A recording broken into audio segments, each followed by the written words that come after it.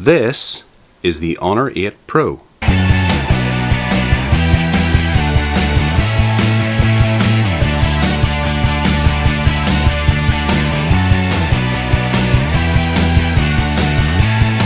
So, the Honor 8 Pro, to quote Donald Trump, is a tippy toppy uh, flagship phone from Honor.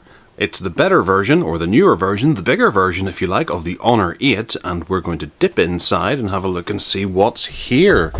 Now, obviously, this is a fairly expensive phone by Honor standards, however, it packs a lot more for the money. So, the box is very simple, blue, and all that kind of caper and inside if we just pull it open obviously this is a test device from Honor and I only have it for a limited period which is unfortunate it's not my own device I didn't purchase it but uh, some other folks have had a look at this and as a result it's not quite as boxed as I would like it to be so we have the device on top and we'll have a look at that in a minute uh, the box itself is a feature-packed box that turns into Google Cardboard with the folding of edges and and stuff. there we go. That's it. That'll give us something to play with uh, at a later date. Quite ingenious that, and, and I know that uh, it's been mentioned in a couple of podcasts and things like that that that would be a great idea for people to do. In fact, I believe we even mentioned it in Tech Addicts podcast some years ago, but uh, it's been done now, so well, there you go. Uh, we seem to be lacking a SIM card ejector tool on the top there. And we have inside a piece of cardboard that detectives would be able to work out that's for a SIM card ejector tool. We have some lenses for the Google Cardboard over there. And we have a European adapter. Right, okay. I do know that Honor, uh, I think they were a bit delayed with getting out the device uh, for pre-orders and things like that, so perhaps they don't have very many review samples available. But uh, we have a fairly long USB-C, just a, a, under a meter USB-C cable in white.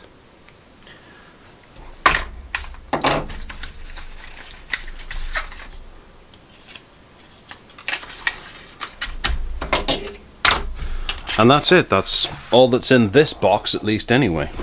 So moving on to the device itself, which is, ooh, covered in fingerprints. My first hands-on with it, I suspect this is quite iPhoney right out of the box. It, it does feel very iPhoney and it even looks a lot like the iPhone 7 Plus. Which is no bad thing. The Honor 8 was beautiful and the Honor 8 Pro takes that beauty, makes it a little bit bigger and continues with it. It's gorgeous. It's very, very thin. If you can see that, that's uh, well less than a centimeter. I'm sure the exact dimensions are about somewhere. Seven millimeters. And then it's 157 millimeters down and then 77.5 millimeters wide. So at the top we have uh, quite a reflectant screen. It's obviously a glossy screen and you can see me and you can see the front facing camera, a sensor and an earpiece. Then we have the screen itself which is a massive screen weighing in at 5.7 inches. However, if you have a look at the size of the bezels, there's virtually nothing to them, thus simplifying the size of the device to make it actually quite easy to grip and you can get across it quite easily. There's a decent amount of thumb reach there, whereas some other devices with a 5.7 inch screen are, are you just can't get right over to that corner. You can get pretty close with this. So there's nothing along the bottom there, save for the Honor logo itself, which looks nice and pronounced. Very elegant, very elegant indeed. On this side we have a power button and a volume rocker. And that's about it. You can see a, an antenna line here, and here which obviously crosses across the back to the other side and at the bottom as well. Uh, down at the bottom of the device we have the USB-C connector, two exposed screws, a speaker and a 3.5mm headphone jack. There is also a microphone hole as well. then up this side there is nothing save for a uh, SIM card tray which the SIM card ejector tool is not here, so I don't. I have one. Okay, so we'll have a quick look at it because I have a suspicion that the SIM card tray houses a micro SD card as well. It does, and it comes with a 3 SIM too. Excellent. That's very handy. So the internals have 64 gigabytes uh, built in, so uh, you have enough for most of your stuff, but uh, those that require more storage obviously do have the option. Then on the top here we have a microphone and what looks like an IR blaster. And uh, on the back we have the dual camera setup, which is dual lenses. And these are 12 megapixel with an f-stop of 2.2, got phase detection and laser autofocus. There's dual LED as well, you can just about see in there, a little orange one and a yellow one. And I can shoot video up to 2160p at 30 frames per second and 1080p at 60 frames per second. And of course the one around the front is an 8 megapixel camera and further on down the back we have a, a fingerprint sensor right in the center of the back then the Honor logo at the bottom and some CE branding and that kind of caper too. So we'll turn her on and see what happens. Dead. Dead to the world. Okay, for charging purposes we have a little charge icon there. We'll give it a couple of seconds to build up a little bit of power before we boot it up. We have an octa-core processor inside featuring two quad cores bound together. One quad core that's 2.4 gigahertz and the other quad core that's 1.8 gigahertz. That's the Kirin 960. It runs Android Nougat out of the box. Should do. I'm sure there's probably some kind of security update there on it anyway. And we're up to 3% already. We get a bit of a buzz as it turns on. This is Gorilla Glass 3.0. We have this is the 4 gigabyte ROM or RAM version. There is also a 6 gigabyte ROM RAM version in uh, Korea, I believe. So we're going with uh, United Kingdom. I agree to these terms and conditions. Of course, Wi-Fi Plus and weather service is fine by me. We're going to connect to my local network. And that was lightning fast. Everything here just seems to be lightning fast so far. Checking info just a second. We're not going to bother with our Google information right now. Okay, so uh, all signed into Google and authenticated and that kind of keeper. And we can protect our phone by using the uh, fingerprint scanner on the back. And we're going to start afresh. We need a Huawei. Okay, now that's done. Uh, fingerprint touch control allows you to answer a call, take a photograph, stop alarms, show notification panel and browse photos. Very handy. Fingerprint uh, ID can also unlock the screen, access a safe and access app lock. Okay, so uh, I'm just going to skip this. We're not going to have the phone long enough to be able to play with that too much, I wouldn't imagine, but it's good to know it's there. So EMUI is obviously in play here. Uh, love it or hate it, it's what Huawei use on the Honor. I don't mind it. I love an app drawer, but uh, I must be in the the few. So we have some stuff installed automatically out of the box.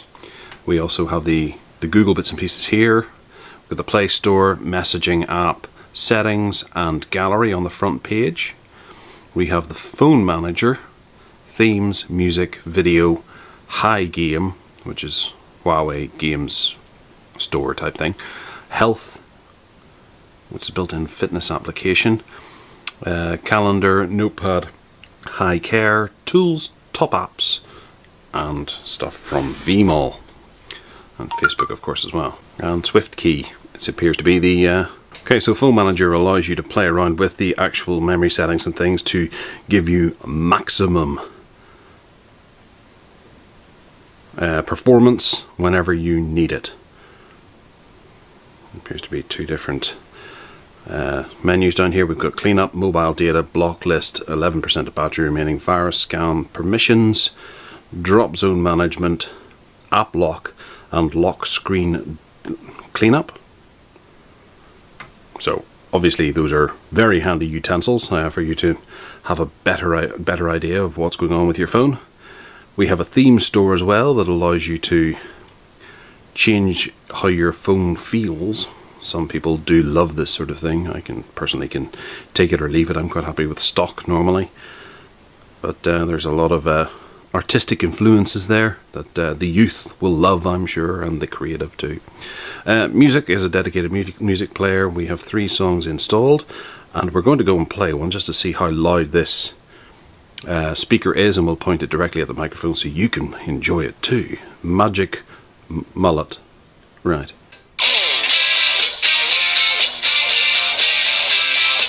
Okay, so it is quite tinny, but it's perfect for phone calls and that sort of thing. Uh, videos, no local content.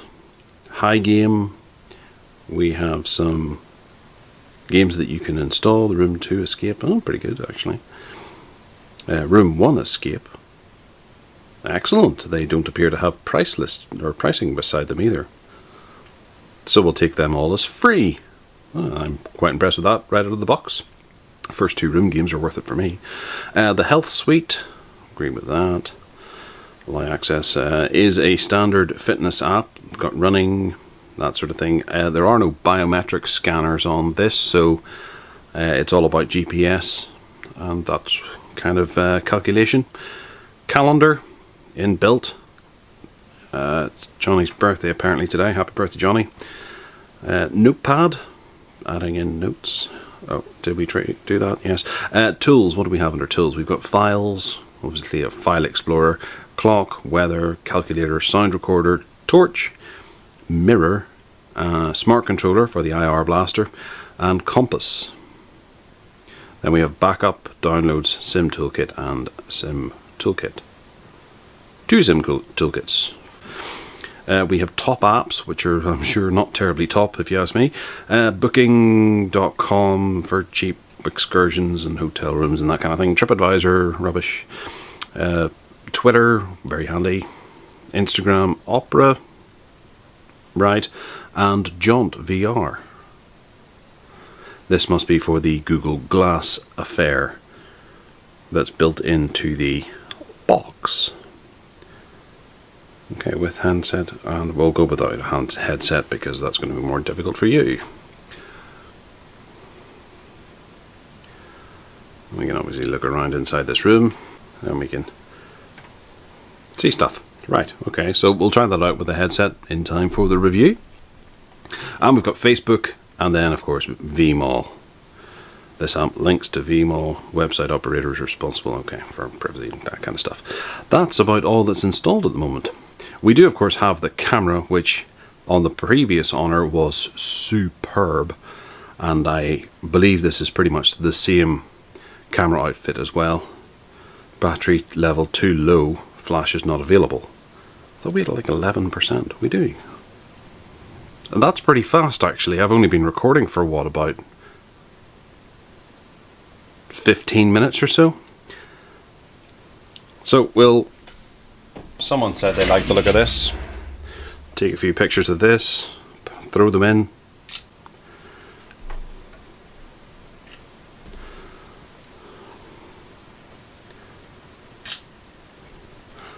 There we go. And then if we bring in from the side, we have all these different modes as well. We've got time lapse, light painting, night shots, 3D creator. Huawei have really done everything they can to make this one of the most attractive cameras on the market and I can't wait to get it out there and start utilizing it to the max. And then the gallery app obviously houses your photographs. Okay, well that is the Honor 8 Pro. I'm going to run away and start reviewing it and I should hopefully have the review up by this time next week because I only have it for a week. Uh, it's gorgeous from the outside. Hopefully it's just as gorgeous on the inside. If you have any questions about it, please throw them into the comments below. Hit the subscribe button. Take care, and I'll catch up with you on the next video.